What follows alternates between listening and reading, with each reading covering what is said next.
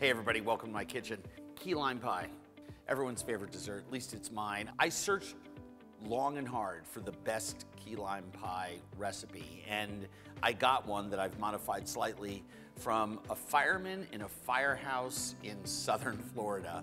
About one and a half cups of graham cracker crumb, brown sugar, melted butter. I just pulsed this for 30 seconds in the microwave. Combine that and at a certain point, you're gonna wanna get your hands in there. And as you can see, it kinda holds together. Depending on how big your pie tin is, makes enough for a few pies.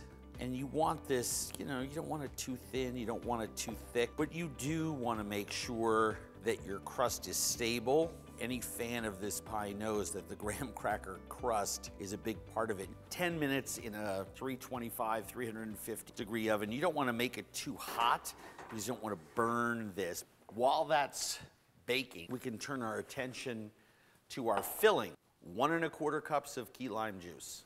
These are key limes. For their size, they have a lot of juice. They have seeds. You can squeeze away to your heart's desire, and quite frankly, I think it's worth the time. One thing that you don't want to do, whether it's with a key lime or a Persian lime, is squeeze all the way.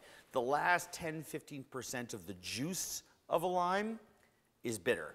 Next thing we do is we add two cans of sweetened condensed milk. You may notice me getting in there with my spatula. I mean, this stuff is thick, it's like honey.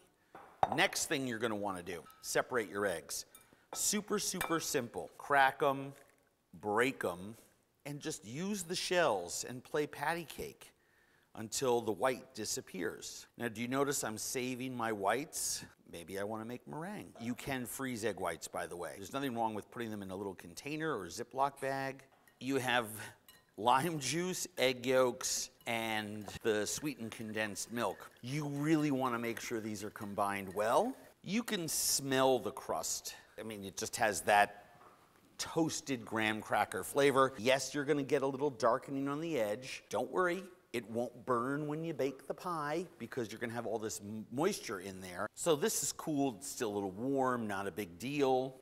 And you can just pour this into the center, this custard, just up to the point, because it's not gonna really rise. And then we throw this into our preheated oven. All right, lower our temperature to 325. So we'll check it in 20 minutes. We'll give it a little jiggle test and I'll show you if the custard is set. Oh yeah. Now look at this. Do you see? See how it's jiggling, but sort of set around the edges? We'll let this pie cool on the countertop for about 45 minutes to an hour and then just slide it into the fridge and let it cool. All right pie is cooled, and I will tell you, this is not my culinary forte, pie slicing.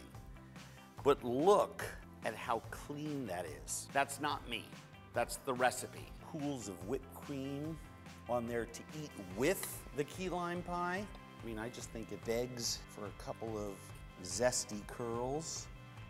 Zesty Curls, by the way, was the name of my Blondie cover band in college. Those are for you. This is for me. It's the best key lime pie recipe ever.